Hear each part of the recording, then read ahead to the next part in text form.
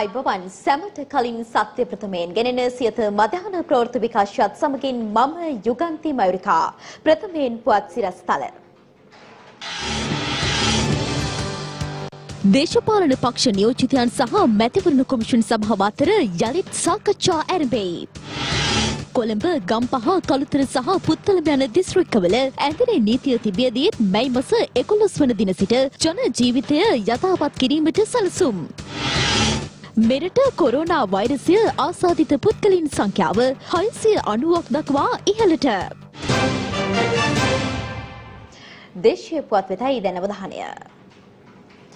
මහමැතිවරණය පැවැත්වීම සම්බන්ධයෙන් දේශපාලන පක්ෂ නියෝජිතයන් සහ මැතිවරණ කොමිෂන් සභාව අතර සාකච්ඡාවක් අද පෙරපුරුවේ ආරම්භ වුණා.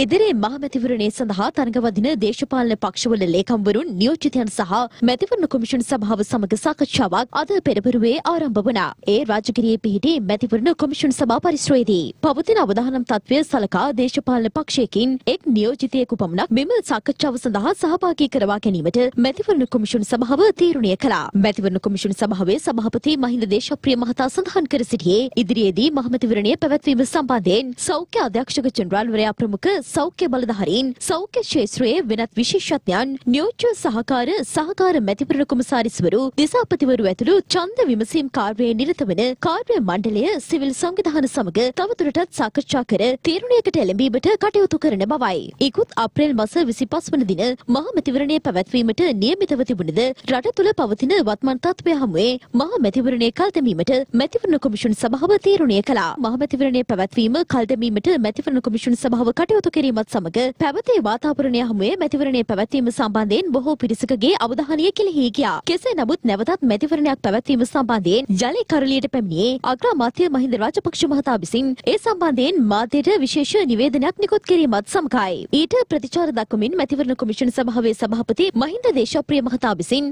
ඔහුගේ ෆේස්බුක් ගිණුමෙහි සටහනක් තබා තිබුණා. ඊට පසු දින එනම් අප්‍රේල් මාස 20 වනදා මැතිවරණ කොමිෂන් සභාව විසින් දේශපාලන පක්ෂ සෞඛ්‍යාංශ ආරක්ෂක අංශ ඇතුළු ශේත්‍ර කිහිපයක් සමගින් සාකච්ඡා පැවැත්වුවේ ඉදිරි මහමැතිවරණය පැවැත්වීම සම්බන්ධයෙනුයි. එම සාකච්ඡාවලින් අනතුරුව මහමැතිවරණය පැවැත්වීම සම්බන්ධයෙන් ගැසට් නිවේදනයක් අප්‍රේල් මාස 20 වෙනිදා මධ්‍යම රාත්‍රියේදී නිකුත් කරනු ලැබුවා. එම ගැසට් නිවේදනයට අනුව ජූනි මාස 20 වෙනිදා මහමැතිවරණය පැවැත්වීමට කටයුතු කරන බවයි මැතිවරණ කොමිෂන් සභාව නිවේදනය කළේ. ගැසට් නිවේදනය නිකුත් කළ දිනට පසු දින එනම් අප්‍රේල් මාස 21 වෙනිදා මැතිවරණ කොමිසම සහ දේශපාලන පක්ෂ නායකින් සහ නියෝජිතයන් අතර සාකච්ඡාවක් කැඳවා තිබුණා. එහිදී ඇතැම් පාර්ශවයන් අදහස් දක්වමින් සඳහන් කර සිටියේ මැතිවරණ කොමිෂන් සභාව තීරණය කළ දිනයට මැතිවරණය පැවැත්වීමට හැකියාවක් පවතින බවයි. තවත් පිරිසක් මැතිවරණය පැවැත්වීම මෙවැනි වාතාවරණයක් තුළ නුසුදුසු බවත් අදහස් පළ කර සිටියා. එමෙන්ම ඇතැම් පිරිසක් සඳහන් කර සිටියේ ගැසට් නිවේදනය නිකුත් කර මහ මැතිවරණයට දිනයක් ප්‍රකාශයට පත් කිරීමට ප්‍රථමයෙන් ඔවුන් සමග සාකච්ඡාවක් පැවැත්වීමට මැතිවරණ කොමිෂන් සභාව කටයුතු නොකළ බවයි.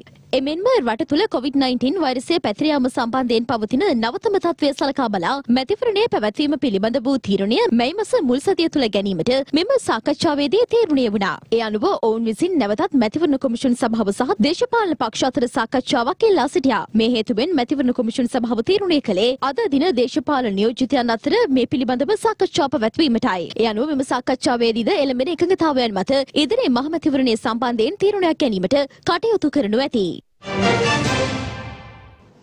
ලොව පුරා කොවිD-19 වෛරසය ආසාදිත පුද්ගලින් සංඛ්‍යාව මේ වන විට මිලියන 3.4 ඉක්මවා ගොස් තිබෙනවා. ගත වූ පැය 24ක කාලය තුළ ඉන්දියාවෙන්ද කොරෝනා වෛරසය ආසාදිත පුද්ගලින් 2293ක් වාර්තා වූ බවයි විදෙස් මාධ්‍ය වාර්තා කළේ. මේ අතර මෙරට කොවිD-19 වෛරසය ආසාදිත පුද්ගලින් සංඛ්‍යාව 690ක් දක්වා ඉහළ ගොස් තිබෙනවා.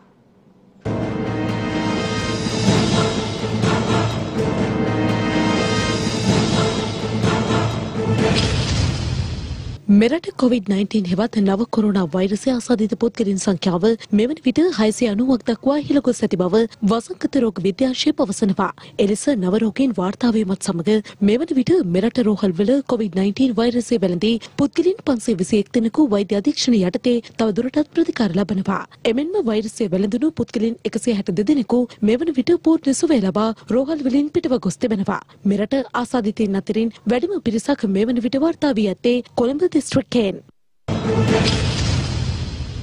චීනයේ හුබේ පළතේ වූහන් නගරයෙන් ව්‍යාප්තිය ආරම්භ වූ කොවිD-19 හෙවත් නව කොරෝනා වෛරසය ලොව රටවල් 217කට බලපෑම් එල්ල කර තිබෙනවා.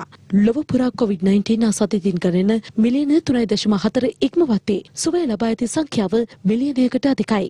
ලොව වැඩිම කොවිD-19 පිරිසක් වාර්තා වන ඇමරිකාවෙන් ඊයේ දින නව ආසාදිතයින් 36007 දෙනෙකු වාර්තා වී තිබෙනවා. ඊයේ දිනය තුල පමණක් එරටින් වාර්තා වූ මරණ ගණන 1897ක්. මෙවන විට වෛරසය හේතුවෙන් ඇමරිකාවේ සිදුව ඇති සමස්ත මරණ සංඛ්‍යාව 65776ක් ලෙසට සටහන් වනවා. එරට අසාදිතයින් ගණන 11 ලක්ෂ 31452ක් බවයි විදෙස් මාධ්‍ය වාර්තා කළේ. ඇමරිකාවෙන් අනතුරුව වැඩිම ආසාදිතයින් සංඛ්‍යාවක් වාර්තා වන්නේ ස්පාඤ්ඤයෙන්. එරට පුද්ගලයන් 242988 දෙනෙකුට වෛරසය වැළඳී තිබෙනවා. ඉන් පුද්ගලයන් 24824 දෙනෙකු මෙවන විට වෛරසය ආසාදනය වීම හේතුවෙන් ජීවිතක්ෂයට පත් වී තිබෙනවා. COVID-19 වෛරසය හේතුවෙන් තෙවැනිට වැඩිම ආසාදිතයින් සංඛ්‍යාවක් වාර්තා වන්නේ ඉතාලියෙන්. එම ගණන සටහන් වන්නේ දෙලක්ෂ හදදහස් හාරසය විසි අටක් ලෙසයි. ඉතාලයේ පුද්ගලින් විසි අටදහස් දෙසි තිස්හය දෙනෙකු වෛරසය අසාධනය වීම හේතුවෙන් ජීවිතක්ෂයට පත් වී තිබෙනවා. මේ අතර අදුදෑසනි නවසන් වූ පැය විසි හතරක කාලය තුළ ඉන්දියාවේ නව කොරෝනා වෛරස් ආසාදිතයින් දෙදහස් දෙසි අනු තුන් දෙනෙකු වාර්තා වී තිබෙනවා. එය ඉන්දියාවෙන් දිනකදී මෙතෙක් වාර්තා වූ වැඩිම ආසාදිත සංඛ්‍යාවයි. ඒ සමගම ඉන්දියාවේ මුළු COVID-19 ආසාදිතයින්ගේ සංඛ්‍යාව 37336ක් දක්වා ඉහළ ගොස් තිබෙනවා. ගත වූ පැය විසි හතර තුළ ඉන්දියාවෙන් කොරුණා මරණ හැත්ත එකක් වාර්තා වන අතර එරටින් වාර්තා වන මුළු මරණ සංඛ්‍යාව එදහස් දෙසේ විසි තුනක් ලෙසයි සටහන් වන්නේ. පසුගිය මාර්තු මස විසි පස් වනදා සිට සමස්ත ඉන්දියාවම වසා දැමීමට ඉන්දියානු රජය පියවර ගත්තේ වෛරසයේ ව්‍යාප්තිය අවම කරලීමේ අරමුණෙන්. එම සීමාවන් මැයි මස හතර වනදා අවසන් වීමට නියමිතව තිබුණද තවත් සති දෙකක් දීර්ඝ කිරීමට ඉන්දියාව පියවර කරනවා. කෙසේ නමුත් දැඩි සීමාවන්ට යටත්ව රට යළි විවෘත කිරීමට ඉන්දියාව පියවර ගනිමින් සිටින බවයි ඉන්දියානු මාධ්‍ය වාර්තා කළේ. ඇඳරි නීතිය පැවතියද එළඹෙන එකොළොස් වනදා සිට කොළඹ ගම්පහ කළුතර සහ පුත්තනම යන දිස්ත්‍රික්කවල රාජ්‍ය හා පෞද්ගලිකාංශයේ සේවා ආරම්භ කිරීමට රජය තීරණය කර තිබෙනවා. මැයි මස පළමුවනදා සිට මැයි මස හතරවනදා අලුයම පහදක්වා මුළු දිවෙනටම බල පැවැත්වෙන පරිදි ඇඳිරි නීතිය ක්‍රියාත්මක වනවා. මැයි මස හතරවන සඳුදා සිට මැයි මස හයවනදා දක්වා කොළඹ ගම්පහ කළුතර සහ පුත්තලම හැර සෙසු දිස්ත්‍රික්කවලට පනවා ඇති ඇඳිරි නීතිය අලුයම පහට ඉවත් කොට රාත්‍රී අටට යළි පනවනු ලබනවා. යළි මැයි මස හයවන බදාදා රාත්‍රී අටට මුළු දිවෙනටම ඇඳිරි නීතිය පනවන අතර එය මැයි මස එකොළොස් වනදා අලුයම පහදක්වා ක්‍රියාත්මක වනු ඇති. කොළඹ ගම්පහ කළුතර සහ පුත්තලම දිස්ත්‍රික්කවල ඇඳිරි නීතිය තිබියදී ජන ජීවිතය හා ආයතන ක්‍රියාකාරීත්වය යථා තත්වයට පත්කිරීම මැයි මස 11 වන සඳුදා ආරම්භ කරන බව ජනාධිපති මාධ්‍යංශය පවසනවා. එම දිස්ත්‍රික්කවල රාජ්‍ය හා පෞද්ගලිකාංශවල ආයතන 11 වන සඳුදා සිට විවෘත කර පවත්වාගෙන යා යුතු බව ජනාධිපති මාධ්‍යංශය නිකුත් කළ නිවේදනයේ වැඩි දුරටත් සඳහන් වනවා. මේ අතර ඇඳිරි නීතිය පනවා ඇති කාල සීමාව තුළ ඇඳිරි නීතිය උල්ලංඝනය කරන පුද්ගලයින් අතර අත්අඩංගුවට ගැනීමට පොලිසිය කටයුතු කර තිබෙනවා.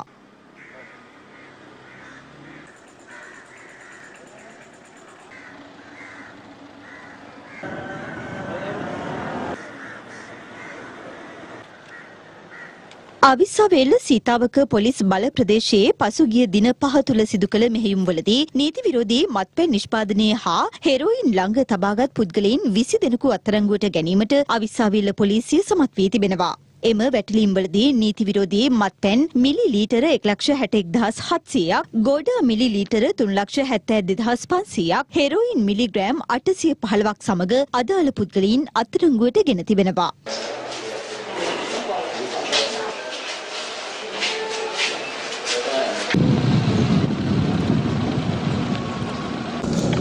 ඇඹිලිපිටිය චන්ද්‍රිකා වැවස් මත්තේ කිරිවිල යාය නැමැති ඉතා දුෂ්කර ප්‍රදේශයේ අක්කර හතක තරම් විශාල පොල් වැටකොළු වම්බටු සහ බඩිරිඟු වගාවන් තුළ සූක්ෂමව ස්ථාන තුනක සරුවට වගා කර තිබූ ගංජා හේන් තුනක් වැටලීමට ඇඹිලිපිටිය පොලිසියේ වැටලීම් අංශය සමත් වී තිබෙනවා.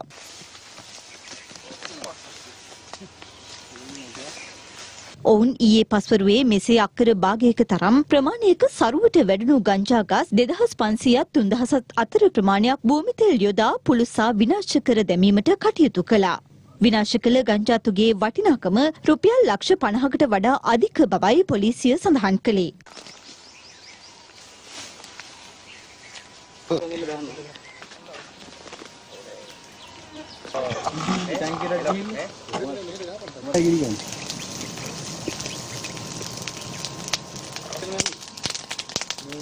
चारों तो खोल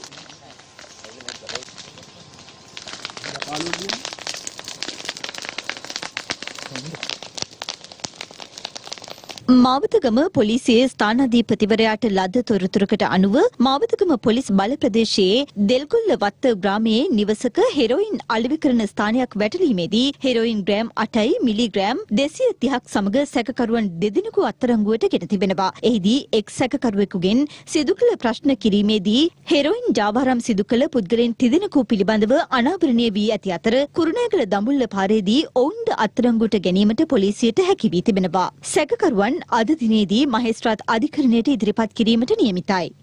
වවුනියාව සෙට්ටිකුළම පොලිසියට ලද තොරතුරකට අනුව සිදු කළ වැටලීමකදී වවුනියාව වීරපුරම් ප්‍රදේශයේදී නීති විරෝධී මත්පැන් නිෂ්පාදනයෙහි නිරත පුද්ගලයෙකු අත්අඩංගුවට ගැනීමට සෙට්ටිකුළම පොලිසිය සමත් වී තිබෙනවා. මෙහිදී ගෝඩා මිලි ලීටර 54000ක් සමග ඒවා නිෂ්පාදනයට යොදාගත් උපකරණ තොගයක්ද පොලිසිය විසින් සිය භාරයට ගෙන තිබෙනවා.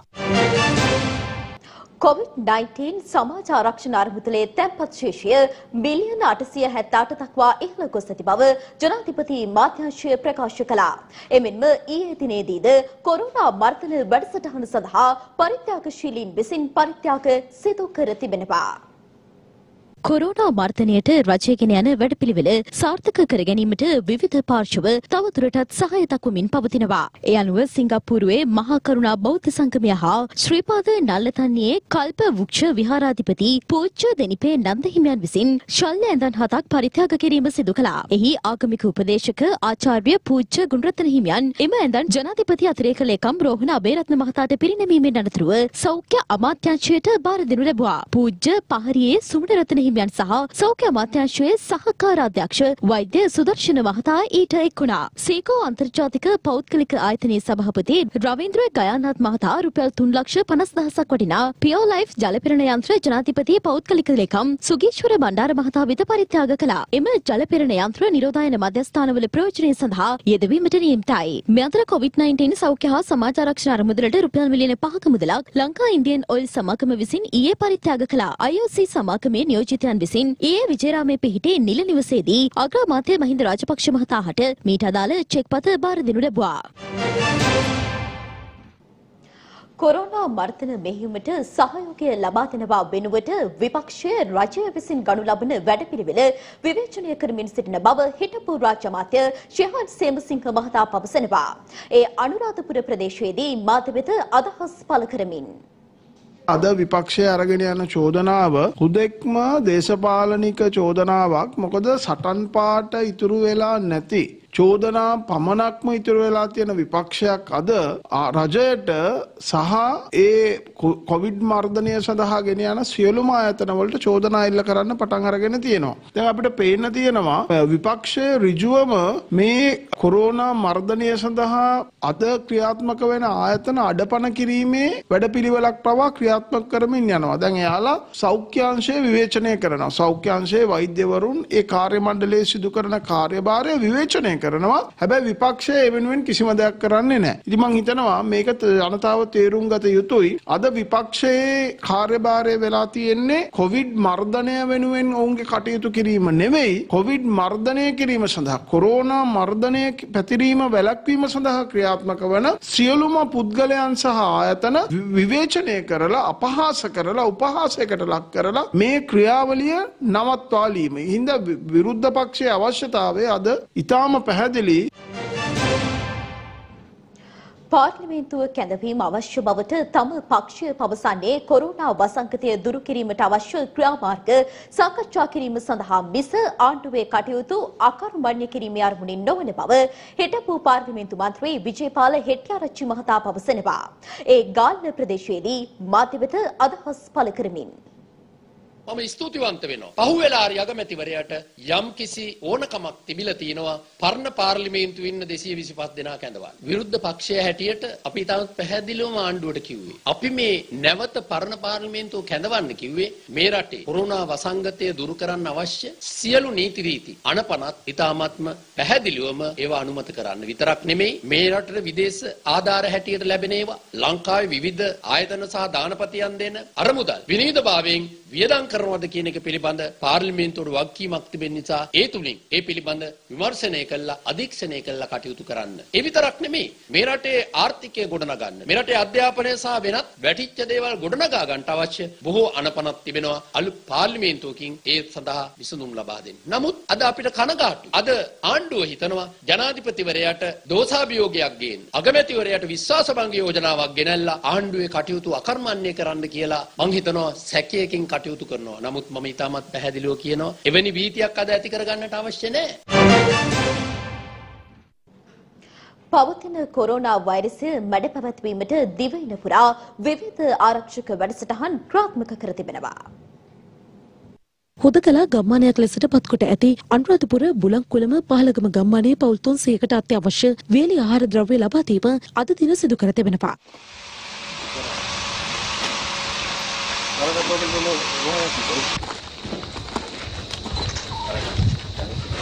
මේක ගන්න. මෙම ගම්මානය හුදකලා ප්‍රදේශයක් බවට පත්කොට මෙවන විට දින හතක කාලයක් ගත වී ඇති අතර ඒ හේතුවෙන් දුෂ්කරතාවයට පත් එම පවුල් සඳහා වේලි ආහාර ද්‍රව්‍ය ලබා දීමට මධ්‍යම නුවර ගම්පලාතේ ප්‍රාදේශීය සභාව මෙලෙස කටයුතු කර තිබෙනවා.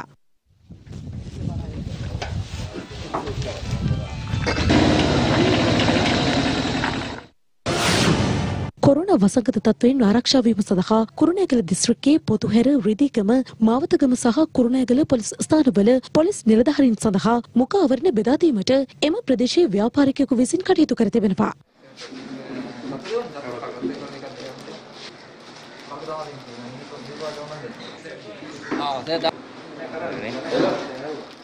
මෙතර කුරුණෑගල දිස්ත්‍රික්කයේ වැඩහිටි නිවාසවලටද එම ව්‍යාපාරිකයා විසින් මුඛාවරණ බෙදා දීමට කටයුතු කර ඇති අතර මෙලෙස මුඛාවරණ 4500ක් ලබා දීමටයි පියවරගෙන ඇත්තේ.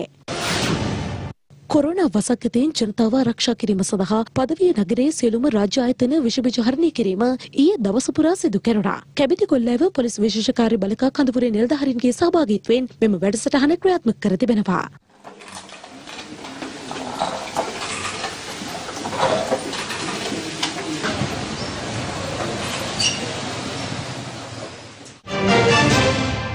දැන් අවධානය රටවටා පුවත් කිහිපයක් වෙතයි. යාපනය කරේනගර් පොන්නාලේ පාලමසලදී මාර්ගයෙන් ඉවතට පැන කලපුවකට වැටි අනුතරකට ලක් වූ ශ්‍රී ලංකා ගමනාගමන මණ්ඩලයට අයත් බස් රථයක් ගොඩ ගැනීමට නාවික හමුදාව ඊයේ දින සමත් වුණා. බගවන්තලාව පොලිස් වසමට අයත් පෙට්‍රසෝ තේවත්තේ සහ බ්‍රිඩ්වෙල් තේවත්තේ අනවසරින් මැණික් කරමින් සිටි සැකකරුවන් හත් දෙනෙකු ඊයේ රාත්‍රියේ බගවන්තලාව පොලිසිය විසින් අත්අඩංගුවට ගෙන තිබෙනවා. මෙහිදී මැණික් ගැනීම සඳහා උපයෝගී කරගන්නා උපකරණ තොගයක් සහ සැකකරුවන් විසින් ගොඩ දමා තිබූ මැණික් ඉල්ලම් තොගයක්ද පොලිසිය විසින් සේබහරයට ගෙන තිබෙනවා. අනුරාධපුර පැරණි ත්‍රිකුණාමලය ප්‍රධාන මාර්ගයේ යාපනය හන්දියට නුදුරෙන් මල්වතුවය පළමසලදී අදදැසන නාදුනන පුද්ගලයෙකුගේ මල සිරුරක් හමු වූ බව අනුරාධපුර පොලිසිය පවසනවා. වැලිමඩ මිරහවත්ත ප්‍රදේශයේ මද්දකට හසු වූ හඳුන් දිවියෙකු ඊයේ රාවණඇල්ල වනජීවි නිලධාරීන් විසින් මුදවාගෙන තිබෙනවා. මූලික ප්‍රතිකාර කිරීමෙන් අනතුරුව මෙම හඳුන් දිව්‍යා ඊයේ රාත්‍රියේ රාවණඇල්ල අභය භූමියට මුදවා හැරීමට වනජීවි නිලධාරීන් කටයුතු කර තිබෙනවා. බෙදාගත්තේ ඔහු එපා මෙන්න මේක පාරේ ඔනෝ දැන් ලොකේ දාගන්න ලේසි කන්දුට ගෙනියන්න පුළුවන් ඒත් සමගින් අපගේ මධ්‍යහන ප්‍රවෘත්ති විකාශයමින් නිමාවට පත්වනවා. දවස් උණුසුම් කරන තවත් පුවත් දැනගන්න එක්වන්න www.siyapanews.lk අපගේ වෙබ් පිටුවට. යළිත් මෙමු සවස් 6ට අපගේ ප්‍රධාන ප්‍රවෘත්ති විකාශයත් සමගින්. ඔබට සුබ දවසක්.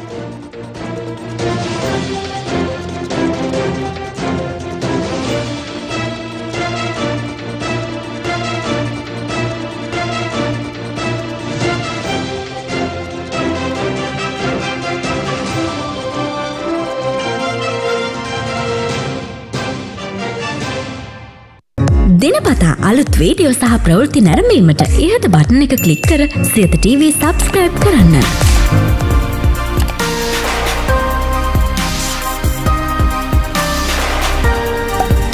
අලුත් වීඩියෝ ගැන මුලින්ම දැනගන්න මෙම සීනුව කලික් කරන්න.